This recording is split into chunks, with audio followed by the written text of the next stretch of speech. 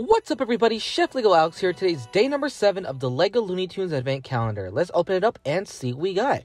So we got a build of a sled. So taking a break from Wile E. Coyote and Roadrunner, we got a sled build. You could put any minifigure to sled around. I really hope you like this build and come back tomorrow for day number eight. Till next time, everybody. Bye.